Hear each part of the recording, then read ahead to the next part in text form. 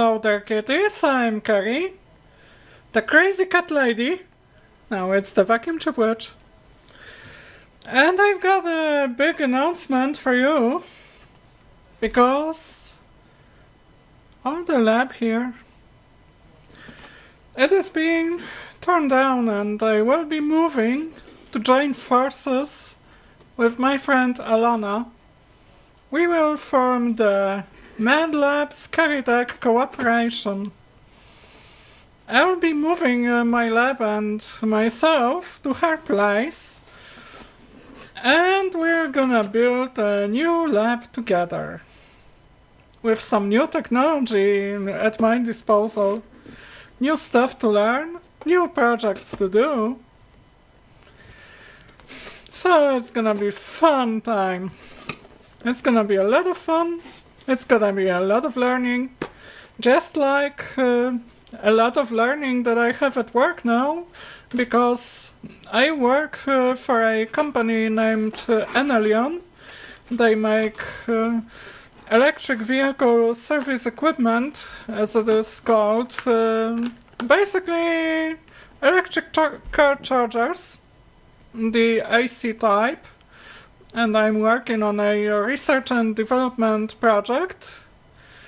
Designing PCBs, building stuff, testing stuff, debugging stuff, electronic engineering, learning all kinds of new info, and that excites me very much. Because uh, before I joined Enelion, I knew I knew almost nothing about uh, PCB design. the modern PCB design, like all that controlled impedance stuff, all that length matching stuff, and uh, multi-layer PCB design. I'm learning it on the job. And uh, thanks to the, the mentor, Michał, uh, I have at work. Uh, he's very knowledgeable and uh, and of great help. I think uh, that I will just uh, go up a few experience levels in electronic engineering on that job. Even if uh, my agreement uh, lasts until the end of the year, but I will try to stay there longer not just because of the income, but also uh, because of uh, the opportunity to learn and uh, and contribute to to the team. So, what's today's video about? It's one of the final projects in Keritech 1.0, and it's a thing that uh, Big Clive has done, it's a thing that Fran Blanche has done. So, why shouldn't I do it as well? a disco light of discombobulation. We'll discombobulate it on the bench and reverse engineer it and try to put it back together. So, to the bench. And now, watch your eyes, the light is coming up. We've got this Manta disco light. It's a pretty cheap company, all made in China, all that jazz. It's huge. When I tested it with uh, my uh, with my desk light. Can I bring it somewhere?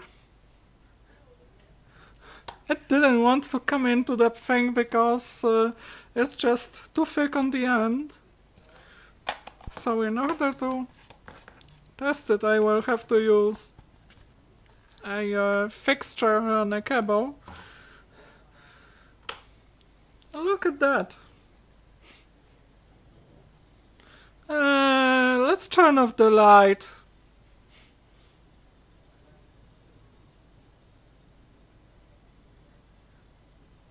Cute. It's cute. Kinda reminds me of uh, aromatic uh, compound structures. But it's just the chemist uh, I am by education. Anyway, um, let's take a look at the parameters of this thing. It's it's just a type. It's uh, it's just a color. There's no uh, power draw at all. E27 base. We've got some parameters on uh, on the box. 3 watts, 270 lumen. Yeah. Some warranty card. But we will be voiding the warranty. We will be voiding the warranty.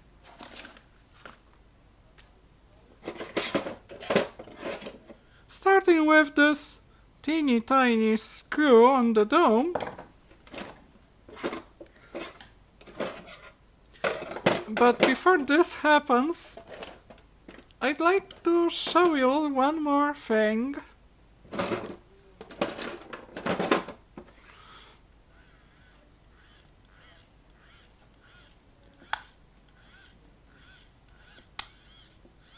I can light it up just by turning it and this means that the motor acts as a generator so it's highly probable that uh, both parts are powered from the same power supply.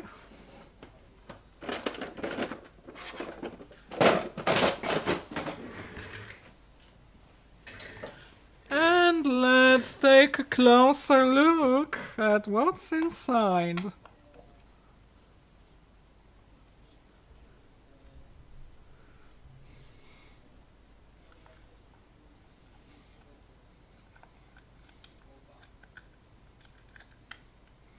There's a metal shaft connected with the mechanical part.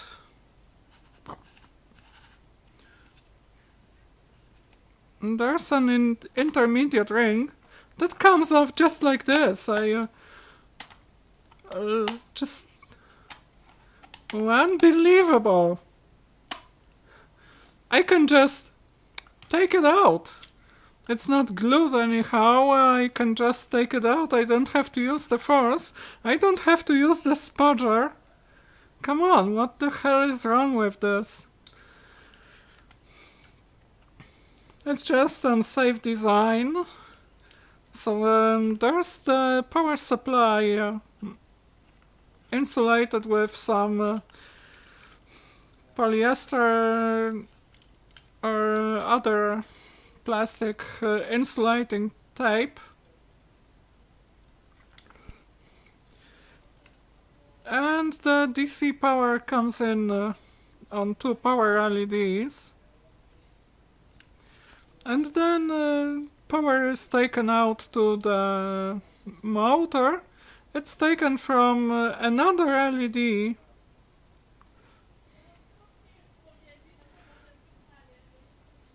So uh, those are just three LEDs connected in series.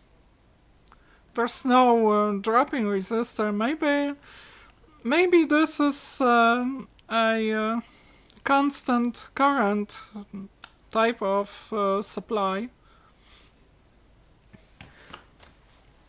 But uh, generally, there should be some current limiting part uh, either a resistor or a uh, constant current source for any LEDs. So uh, right now when I'm turning the motor in one direction uh, the green LED comes up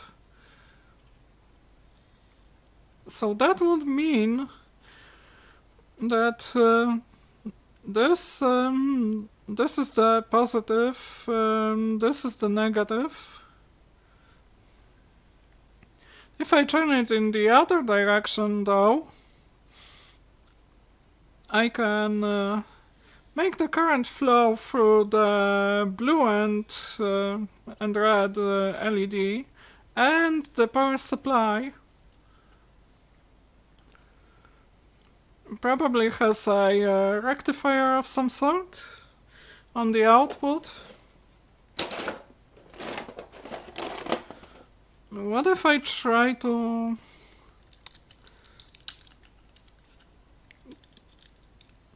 take the insulating tape out?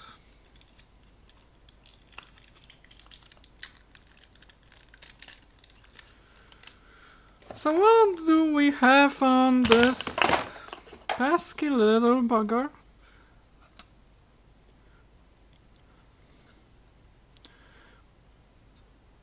We got a big diode on the incoming supply. Got some some more diodes and a transistor. So this is a, switch mode power supply. None of that capacitive dropper rubbish. Got a real deal transformer. 13001 and the part that's here. Not sure if it's a transistor or a um, integrated circuit. It's labeled Q2, so it's it's definitely a transistor. We've got a, uh, a diode and a capacitor.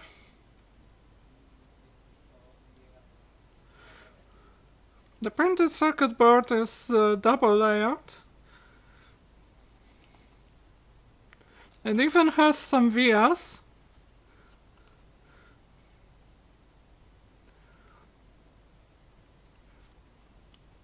So this... This is just a uh, half-wave uh, rectifier and a uh, capacitor on, uh, on the secondary side.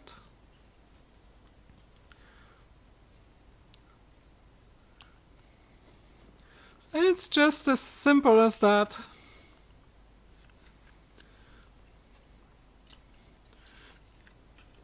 So in order to make it work again, I would have to insulate this uh, voltage converter. Maybe I'm not doing it the way it should be done. Uh, I should really use the, the new type, but... What the hell?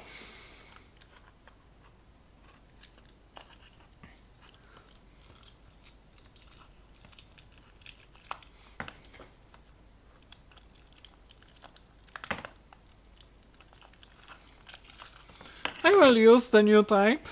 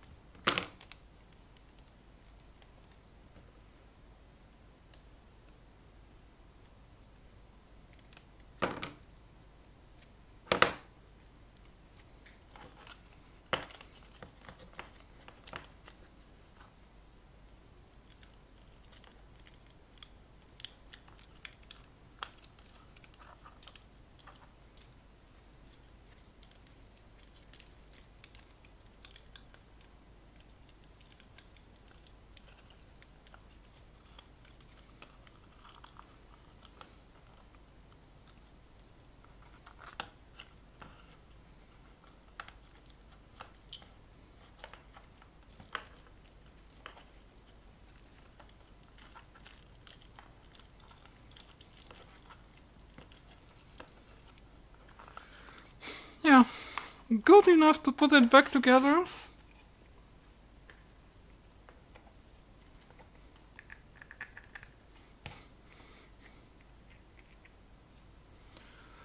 And the full three disco lights. This one is definitely the cheapest and spare every expense type. Spare every expense. If it could be done better, it should not be done better. Just like that.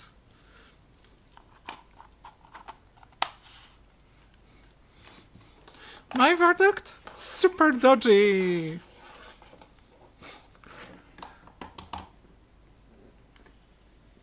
Still working.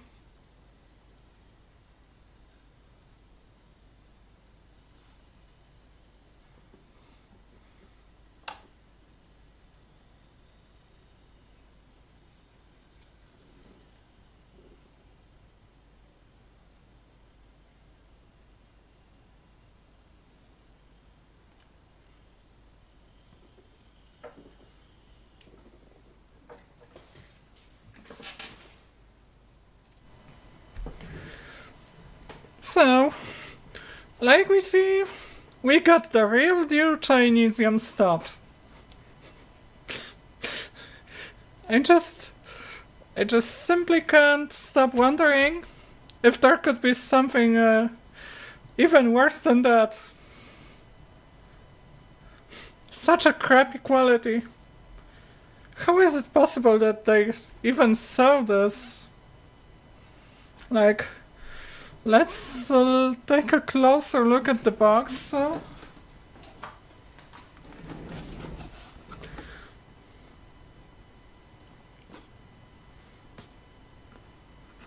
Hmm. The CE marking might be China export, but but might even be the real deal CE. Of course, the American folks and the Canadian folks and the Australian folks uh, don't have to care about that because uh, this is the strictly European thing. But the CE marking uh, is uh, generally that the sign that uh, denotes that um, the product uh, conforms to the European Union regulations like the low voltage directive and um, the um, electromagnetic compliance directive and uh, a lot of uh, other regulations. But the Chinese manufacturers uh, designed a uh, similar uh, sign uh, that's easily confused with the European uh, CE sign. They named it the China export. it's a little bit different because from what I uh, remember, the the E should uh, come into contact with uh, with the circle uh, that you get from uh, extrapolating the C. In this case it is possible, but uh, but uh, those letters uh, I'm not sure if uh, if they are close enough um, together for this to happen because in China export sign uh, they are placed uh, much closer to each other. And I think that um, the horizontal bar on the E would be full length um, on China Export, but uh, don't quote me on that. Uh, I don't know um, it uh, all that well. Anyway, this product is piece of shit. I wonder if I can uh, provide you some entertainment by uh, taking apart some other electronic crap. Anyway, that's it, that's it for now. If it was uh, the uh, the last episode um, on uh, Keritech 1.0, we'll see pretty soon.